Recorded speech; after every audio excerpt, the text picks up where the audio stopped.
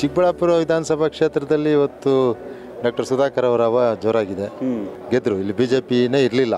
ಅಂಥ ಕಡೆ ಒಳ್ಳೆ ಲೀಡಲ್ಲಿ ಗೆದ್ದಿದ್ದಾರೆ. ಅವರನ್ನು ನಾವು ಮುಂದೆ ಈ ರಾಜ್ಯದ ಮುಖ್ಯಮಂತ್ರಿಯಾಗಿ ನೋಡೋವಂಥ ಒಂದು ನಿರೀಕ್ಷೆಯಲ್ಲಿ ಇದ್ದೀವಿ ಅದು ಸುನಾಮಿ ಅಲ್ಲ. ಸುನಾಮಿ ಬಂದರೆ ಯಾರೂ ಉಳಿಯಲ್ಲ. ಅಂತ ಇಲ್ಲ. ರಾಜಕಾರಣ ಕೇವಲ ದಿನ ದಿನಕ್ಕೂ ಚೇಂಜ್ ಆಗ್ತಾ ಇರ್ತದೆ ಅಂತ ಅನಿಸ್ತದೆ ನನ್ನ ಭಾವನೆ. ಎಸ್ ಸರ್ ಈಗ ಪ್ರದೀಪ್ ಈಶ್ವರ್ ಕಾಂಗ್ರೆಸ್ನ ಅಭ್ಯರ್ಥಿ. ಎಷ್ಟರ ಮಟ್ಟಿಗೆ ಸವಾಲಾಗ್ಬೋದು ಸುಧಾಕರ್ ಅವ್ರಿಗೆ ಅಂತ? ನಾನು ಗೆದ್ದೇ ಬಿಟ್ಟಿದ್ದೀನಿ. ಹದಿಮೂರನೇ ತಾರೀಕು ನಾನು ವಿಧಾನಸಭಾ ವಿಧಾನಸೌಧ ವಿಧಾನಸೌಧಕ್ಕೆ ಹೊರಟಾಗ್ತೀನಿ ಹತ್ತು ವರ್ಷದಿಂದ ಮಾಡಿರ್ತಕ್ಕಂಥ ಅಭಿವೃದ್ಧಿ ಆಮೇಲೆ ಇವ್ರ ಸರ್ವಿಸು ನಿನ್ನೆ ಮೊನ್ನೆ ಬಂದ್ಬಿಟ್ಟು ನಾನು ಗೆದ್ದುಬಿಟ್ಟಿದ್ದೀನಿ ಗೆದ್ದೇ ಹೋಗ್ಬಿಟ್ಟಿದ್ದೀನಿ ಅನ್ನೋದು ಭಾಳ ಓವರ್ ಕಾನ್ಫಿಡೆನ್ಸ್ ಆಗ್ತದೆ. ಮೆಡಿಕಲ್ ಮಂತ್ರಿ ಬೇಕಾ? ಮೆಡಿಕಲ್ ಮೇಸ್ಟರ್ ಬೇಕಾ? ಶ್ರೀಮಂತರು ಬೇಕಾ? ಬಡ ತಂದೆ ತಾಯಿ ಕಳ್ಕೊಂಡ ಹುಡುಗ ಬೇಕಾ ನಿಮಗೆ? ಪರಿಶ್ರಮ ನೀಕ ನೀಟ್ ಅಕಾಡೆಮಿಯಲ್ಲಿ ಮೋಟಿವೇಶನ್ ಆಗಿರ್ಬೋದು ಬಟ್ ಮೆಡಿಕಲ್ ಮೇಸ್ಟ್ ಅಂತ ಆಗಿರಕ್ಕೆ ಸಾಧ್ಯ ಇಲ್ಲ. ಮನೆ ಮಂದಿಯೆಲ್ಲ ಪ್ರತಿದಿನ ಜೀನಿ ಮೊಳಕೆ ಕಟ್ಟಿದ ಕಾಳಿನ ಪೌಡರ್ ಆಹಾರ ಸೇವಿಸಿ ಡಬಲ್ ಎನರ್ಜಿ ಪಡೆಯಿರಿ. ಯಾಕಂದ್ರೆ ಮೊಳಕೆ ಕಟ್ಟಿದ ಕಾಳಿನ ಆಹಾರ ದೇಹಕ್ಕೆ ಹಂಡ್ರೆಡ್ ಪರ್ಸೆಂಟ್ ಪೋಷಕಾಂಶ ಒದಗಿಸುತ್ತೆ. ನಮಸ್ಕಾರ ವಿಷಯ ಕರ್ನಾಟಕ ಟಿವಿಗೆ ಸ್ವಾಗತ. ಸೊ ನಾವೀಗ ಚಿಕ್ಕಬಳ್ಳಾಪುರ ವಿಧಾನಸಭಾ ಕ್ಷೇತ್ರದಲ್ಲಿದ್ದೇವೆ. ಡಾಕ್ಟರ್ ಕೆ ಸುಧಾಕರ್ ಹಾಲಿ ಶಾಸಕರು ಮಂತ್ರಿಗಳು ಎರಡು ಸಾವಿರದ ಇಪ್ಪತ್ತ್ಮೂರಕ್ಕೆ ಈಗ ಬಿ ಜೆ ಪಿಯಿಂದ ಅಭ್ಯರ್ಥಿಯಾಗಿದ್ದಾರೆ. ರೋಚಕವಾಗಿದೆ ಚಿಕ್ಕಬಳ್ಳಾಪುರ ವಿಧಾನಸಭಾ ಕ್ಷೇತ್ರ. ಬನ್ನಿ ನಮ್ಮ ಜೊತೆ ಈಗ ಮಾತಾಡೋದಕ್ಕೆ ಖಾದಿ ಬೋರ್ಡ್ನ ಚೇರ್ಮನ್ ಆಗಿರ್ತಕ್ಕಂಥ ಇದ್ದಾರೆ ಮಾತಾಡೋಣ ಚೇರ್ಮನ್ ಬಗ್ಗೆ. ಏನೇ ಏನಿದೆ ಕಾನ್ಸ್ಟಿಟ್ಯೂನ್ಸಿಯಲ್ಲಿ ಅಂತ. ಸರ್ ನಮಸ್ತೆ. ನಮಸ್ತೆ. ಸರ್ ನಿಮ್ಮ ಹೆಸರು? ಕೆ ವಿ ನಾಗರಾಜ್ ಅಂತ. ಹ್ಞೂ ಈಗ ಕರ್ನಾಟಕ ರಾಜ್ಯ ಖಾದಿ ಮತ್ತು ಗ್ರಾಮೀಣಾಭಿವೃದ್ಧಿ ನಿಗಮದ ಅಧ್ಯಕ್ಷರು. ಎಸ್ ಸರ್ ಚಿಕ್ಕಬಳ್ಳಾಪುರದಲ್ಲಿ ಇದ್ದೀರಾ? ಚಿಕ್ಕಬಳ್ಳಾಪುರದಲ್ಲಿ ನಾವು ಇದ್ದೀವಿ ಈಗ. ಹೆಂಗಿದೆ ಸರ್ ಚಿಕ್ಕಬಳ್ಳಾಪುರ ಕ್ಷೇತ್ರ? ಚಿಕ್ಕಬಳ್ಳಾಪುರ ವಿಧಾನಸಭಾ ಕ್ಷೇತ್ರದಲ್ಲಿ ಇವತ್ತು ಡಾಕ್ಟರ್ ಸುಧಾಕರ್ ಅವರ ಹವ ಜೋರಾಗಿದೆ. ಈಗ ಈ ನಿನ್ನೆ ಮೊನ್ನೆ ಬಂದು ನಾವು ಗೆಲ್ತೀವಿ. ಏನೋ ನಮ್ಮದು ದೊಡ್ಡ ಸುನಾಮಿ ಅಂತ ಹೇಳಿ ಏನು ಹೇಳ್ಕೊಂತ ಇದ್ದಾರೆ. ಇವರು ಹತ್ತು ವರ್ಷಗಳಿಂದ ಐದು ವರ್ಷ ಶಾಸಕರಾಗಿ ಕೆಲಸ ಮಾಡಿದ್ರು. ನಂತರ ಇದನ್ನು ಮೆಡಿಕಲ್ ಕಾಲೇಜು ಚಿಕ್ಕಬಳ್ಳಾಪುರಕ್ಕೆ ಮಂಜೂರಾಗಿದ್ದಂಥ ಅದನ್ನು ತಗೊಂಡೋಗಿ ಕನಕಪುರಕ್ಕೆ ಮಾನ್ಯ ಕುಮಾರಸ್ವಾಮಿ ಅವ್ರ ಸರ್ಕಾರ. ಡಿ ಕೆ ಶಿವಕುಮಾರು ಇದರಲ್ಲಿ ಸಮ್ಮಿಶ್ರ ಸರ್ಕಾರದಲ್ಲಿ ಏನು ತಗೊಂಡೋಗಿ ಅಲ್ಲಿ ಕೊಟ್ಟರು ಹಂಗಾಗಿ ಅದನ್ನು ವಿರೋಧಿಸಿ ಅವರು ಶಾಸಕ ಸ್ಥಾನಕ್ಕೆ ರಾಜೀನಾಮೆ ಕೊಟ್ಟು ಬಿ ಜೆ ಪಿ ಸೇರಿಕೊಂಡ್ರು. ಬಿ ಜೆ ಪಿ ಸೇರ್ಕೊಂಡ್ಮೇಲೆ ಮತ್ತೆ ಬೈ ಎಲೆಕ್ಷನಲ್ಲಿ ಬಹುಶಃ ಮೂವತ್ತೈದು ಸಾವಿರ ಮತಗಳ ಅಂತರದಿಂದ ಗೆದ್ದರು ಇಲ್ಲಿ ಬಿ ಜೆ ಪಿನೇ ಇರಲಿಲ್ಲ. ಅಂಥ ಕಡೆ ಒಳ್ಳೆ ಲೀಡಲ್ಲಿ ಗೆದ್ದಿದ್ದಾರೆ. ಗೆದ್ದ ಮೇಲೆ ಅವ್ರನ್ನ ಮಾನ್ಯ ಯಡಿಯೂರಪ್ಪನವರು ಮಾತಿಗೆ ಏನು ಹೇಳಿದರು ಮೊದಲು ಆ ರೀತಿ ಸಚಿವರನ್ನಾಗಿ ಮಾಡಿದ್ರು. ಅದಕ್ಕೂ ಅದು ಕೂಡ ವೈದ್ಯಕೀಯ ಶಿಕ್ಷಣ ಸಚಿವರಾಗಿದ್ದರು ನಂತರ ಅವರು ಕೆಲಸವನ್ನು ನೋಡಿ ಮತ್ತೆ ಅವರಿಗೆ ಆರೋಗ್ಯ ಮತ್ತು ಕುಟುಂಬ ಕಲ್ಯಾಣ ಖಾತೆ ಕೊಟ್ಟರು ಕೊಟ್ಟಮೇಲೆ ಬಹುಶಃ ಹಿಂದೆನೂ ಒಳ್ಳೆ ಕೆಲಸ ಮಾಡಿದರು. ಹಾಗಾಗಿ ಅವ್ರಿಗೆ ಇವತ್ತು ಅಭಿವೃದ್ಧಿ ಮಾಡಿರ್ತಕ್ಕಂಥ ಈ ಕ್ಷೇತ್ರದಲ್ಲಿ ಜನರ ಒಲವು ಸಹಜವಾಗಿ ಅಭಿವೃದ್ಧಿ ಮಾಡಿರೋ ಕಡೆ ಇರ್ತದೆ.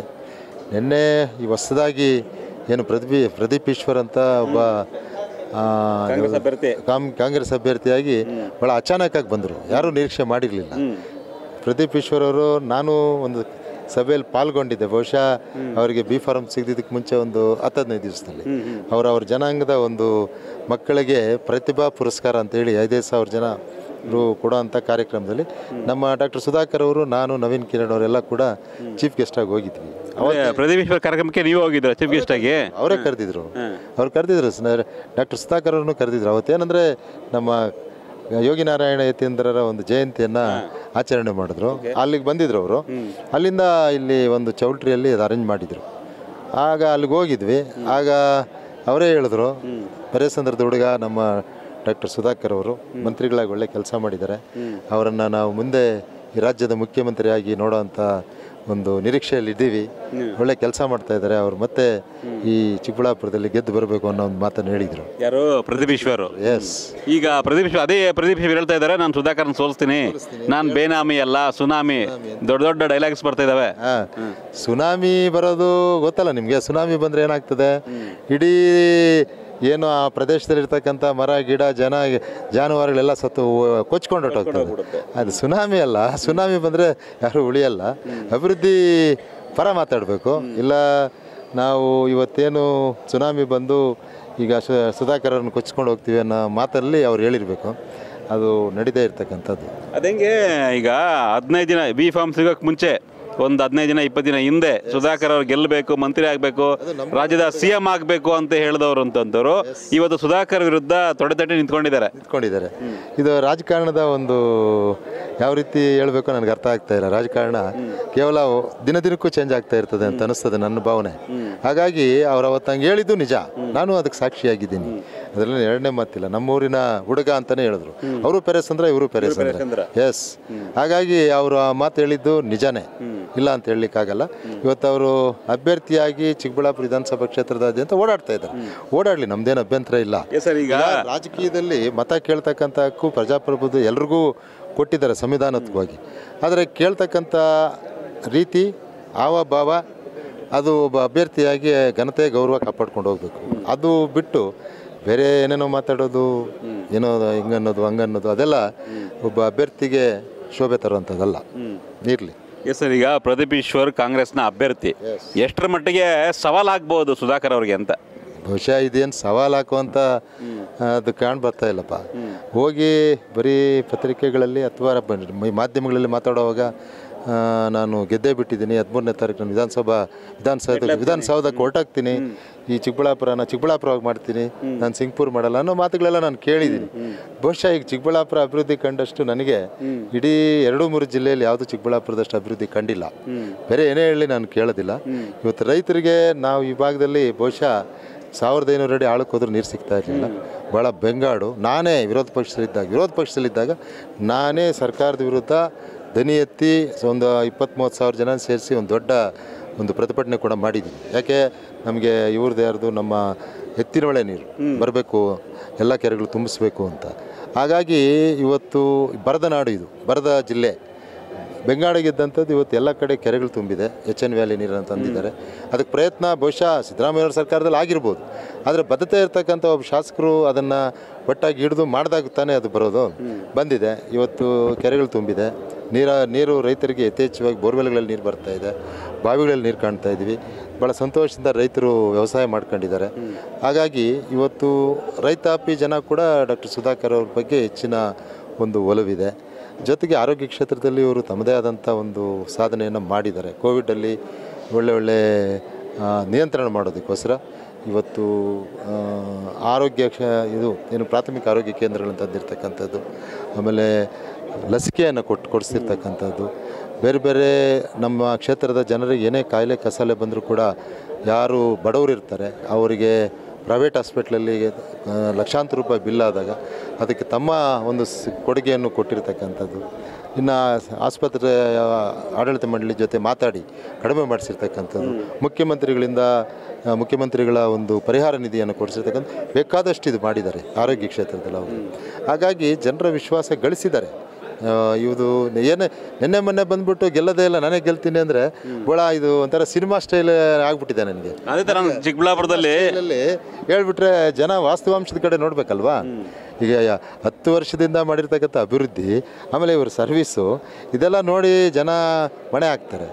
ಏಕ್ದಮ್ ಒಂದೇ ಸರಿ ಬಂದವರಿಗೆ ನಿನ್ನೆ ಮೊನ್ನೆ ಬಂದ್ಬಿಟ್ಟು ನಾನು ಗೆದ್ದುಬಿಟ್ಟಿದ್ದೀನಿ ಗೆದ್ದೇ ಹೋಗ್ಬಿಟ್ಟಿದ್ದೀನಿ ಅನ್ನೋದು ಭಾಳ ಓವರ್ ಕಾನ್ಫಿಡೆನ್ಸ್ ಆಗ್ತದೆ. ಅದು ಯಾರಿಗೂ ಕೂಡ ಶೋಭೆ ತರೋಂಥದ್ದಲ್ಲ ಚಿಕ್ಕಬಳ್ಳಾಪುರ ಕ್ಷೇತ್ರ ಬಿ ಜೆ ಪಿ ಕ್ಷೇತ್ರ ಆಗಿರಲಿಲ್ಲ. ಈ ಮುಂಚೆ ಜೆ ಡಿ ಎಸ್ ಮತ್ತು ಕಾಂಗ್ರೆಸ್ನ ನೇರ ಫೈಟ್ ಇತ್ತು. ಹಾಗಾಗಿ ಕಾಂಗ್ರೆಸ್ಗೆ ತನ್ನದೇ ಅಂತ ಒಂದು ವೋಟಿಂಗ್ ಇದೆ. ಯಾರು ಅಭ್ಯರ್ಥಿ ಇರಲಿಲ್ಲ ಸ್ಟ್ರಾಂಗ್ ಅಭ್ಯರ್ಥಿ ಸುಧಾಕರ್ ಅವರು ಕಾಂಗ್ರೆಸ್ ಬಿಟ್ಟ ಮೇಲೆ ದೊಡ್ಡ ಮಟ್ಟದ ಅಭ್ಯರ್ಥಿ ಇರಲಿಲ್ಲ ಕಾಂಗ್ರೆಸ್ಗೆ. ಈಗ ನಾನು ಬಂದು ಮತ್ತೆ ಕಾಂಗ್ರೆಸ್ನ ಗೆಲ್ಲಿಸ್ತೀನಿ ಅನ್ನೋ ಒಂದು ವಿಶ್ವಾಸದಲ್ಲಿ ಅವ್ರು ಇದ್ದಾರೆ ಇದ್ದಾರೆ ಇದ್ದಾರೆ. ಇದ್ದಾರೆ ಇಲ್ಲಿ ವಿಶ್ವಾಸ ಇಟ್ಕೊಳ್ಳಿ ಅದ್ರೇನು ತೊಂದರೆ ಇಲ್ಲ. ಭಾಳ ಈ ಇದೇನು ಓವರ್ ಕಾನ್ಫಿಡೆನ್ಸ್ ಇದೆಯಲ್ಲ? ಅತಿ ವಿಶ್ವಾಸ. ಅದು ತಪ್ಪು. ಅತಿಯಾದ ವಿಶ್ವಾಸ. ಅದು ತಪ್ಪು. ಬಟ್ ವಾಸ್ತವಾಂಶದ ಕಡೆ ಹೋಗೋದಾದರೆ ಖಂಡಿತ ಹೇಳ್ತೀನಿ. ಇದು ಕಾಂಗ್ರೆಸ್ ಇವತ್ತು ಖಂಡಿತ ಇದು ಗೆಲ್ಲೋ ಅಂಥ ಕ್ಷೇತ್ರನೇ ಅಲ್ಲ. ಕ್ಷೇತ್ರ ಎಸ್ ಸರ್ ಈಗ ಇಬ್ಬರು ಒಂದೇ ಈಗ. ಪ್ರದೀಪ್ ಈಶ್ವರು ಸುಧಾಕರ್ ಅವರು ಇಬ್ರದ್ದು ಪರೇಸಂದ್ರ. ಸೊ ಅವರು ಕೆಲವೊಂದಿಷ್ಟು ಮಾತಾಡಿ ಕೇಳ್ತಿದ್ವು.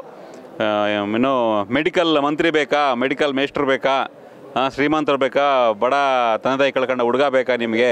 ಇಂತೆಲ್ಲ. ಮಾತಾಡಿದಾರೆ ಹಾಂ. ಮಾತಾಡಿದ್ದಾರೆ ಇಲ್ಲ ಅಂತ ಹೇಳಿಲ್ಲ. ಈಗ ಮೆಡಿಕಲ್ ಮೇಸ್ಟ್ರು ಅಂದರೆ ಬಹುಶಃ ಮೊನ್ನೆನೇ ಅವರ ಒಬ್ಬರು ನಮ್ಮ ಅವರ ಸಮಾಜದ ಮುಖಂಡರು ನವೀನ್ ಕಿರಣ್ ಅವರು ಒಂದು ಅವ್ರದ್ದು ಮಾಹಿತಿ ತಗೊಂಡಿದ್ದಾರೆ. ಏನವರು ಅವರು ನಾಮಿನೇಷನ್ ಆಗ್ತಾಗಿರ್ತಕ್ಕಂಥ ಅಪ್ಡೇಟ್ ಕೊಟ್ಟಿರೋದು second P U C pass ಆಗಿದೆ ಅಂತಿದೆ ಮೆಡಿಕಲ್ ಮೇಸ್ಟ್ರ್ ಆದವರು second P U C pass ಆಗಿ ಬಟ್ ಮೋಟಿವೇಶನ್ ಇರ್ಬೋದು. ಇಲ್ಲ ಅಂತ ಹೇಳಿಲ್ಲ ನಾನು. ಏನು ಪರಿಶ್ರಮ ನೀಕ ನೀಟ್ ಅಕಾಡೆಮಿಯಲ್ಲಿ ಮೋಟಿವೇಶನ್ ಆಗಿರ್ಬೋದು. ಬಟ್ ಮೆಡಿಕಲ್ ಮೇಸ್ಟ್ ಅಂತ ಆಗಿರೋಕ್ಕೆ ಸಾಧ್ಯ ಇಲ್ಲ.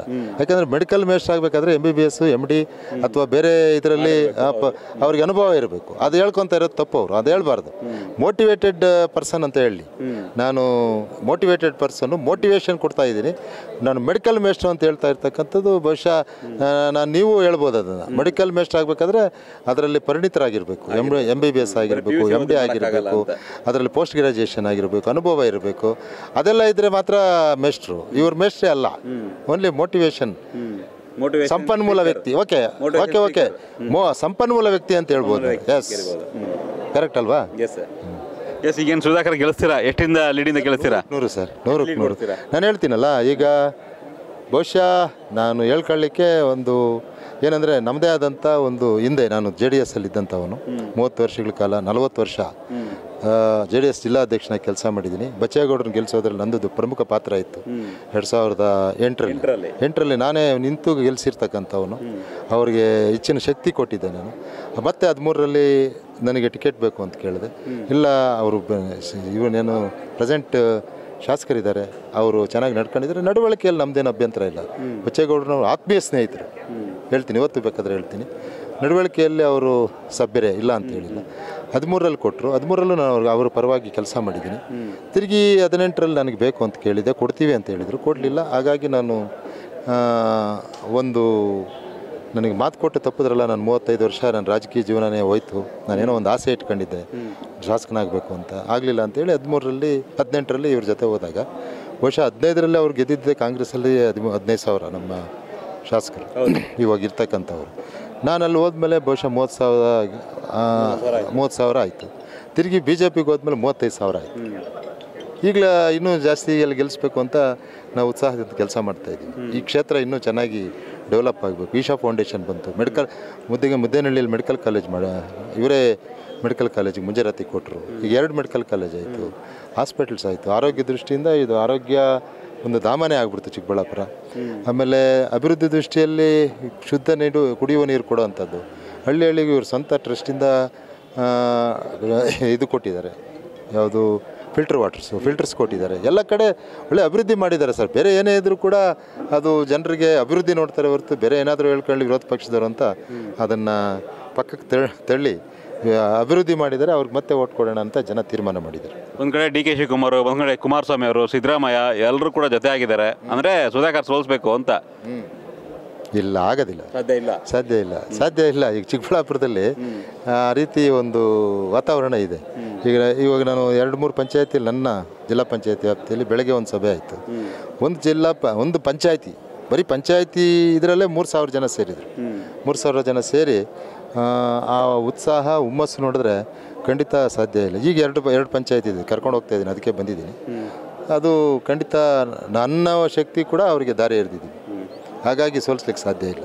ಎಸ್ ಸರ್ ಥ್ಯಾಂಕ್ ಯು ನೋಡೋಣ ಮೇ ಹತ್ತನೇ ತಾರೀಕು ವೋಟಿಂಗು ಖಂಡಿತ. ಹದಿಮೂರನೇ ತಾರೀಕು ರಿಸಲ್ಟ್ ನಾನು ಕರ್ನಾಟಕ ಟಿ ವಿಯ ಒಂಥರ ಫ್ಯಾನ್ ನನ್ನ ಮೊಬೈ ವಾಟ್ಸಪ್ ಇದರಲ್ಲಿ ಯೂಟ್ಯೂಬಲ್ಲಿ ಪ್ರತಿದಿನ ಬೆಳಗ್ಗೆ ಆದರೆ ಇವತ್ತು ಕೂಡ ನೋಡಿದೆ ಯಾವುದು ಬಿಜಾಪುರದ್ದು. ಬಿಜಾಪುರದ್ದು ನಾಲ್ಕು ಬಿ ಜೆ ಪಿ ಎರಡು ಕಾಂಗ್ರೆಸ್ ಎರಡು ಜೆ ಡಿ ಎಸ್. ಕರ್ ಕರೆಕ್ಟಾ? ಹೌದು. ಆ ರೀತಿ ನಾನು ಕರ್ನಾಟಕ ಟಿ ವಿ ವಾಸ್ತವಾಂಶವನ್ನು ನೋಡಿದ್ದೀನಿ. ನಿಮಗೆ ಒಳ್ಳೆಯದಾಗಲಿ ನಮ್ಮ ನಿಮ್ಮ ಶಿವಕುಮಾರ್ ಶಿವು ನೀವೆಲ್ಲ ಜೊತೆಯಲ್ಲಿ ಮಾತಾಡ್ತೀರಲ್ಲ? ನಿಮ್ಗೆಲ್ರಿಗೂ congratulations thank you sir thank you